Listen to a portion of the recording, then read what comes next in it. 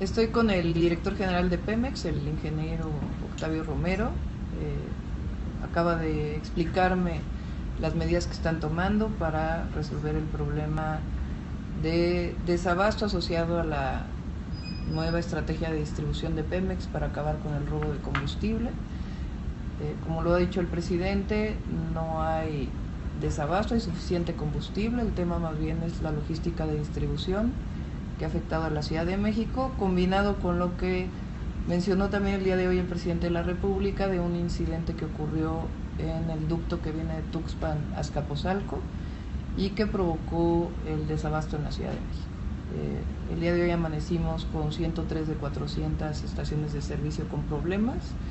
Se está ya eh, disminuyendo gracias a la estrategia que hizo Pemex.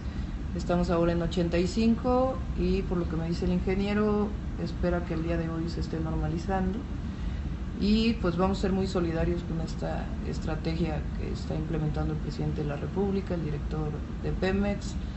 de acabar con la corrupción y el huachicoleo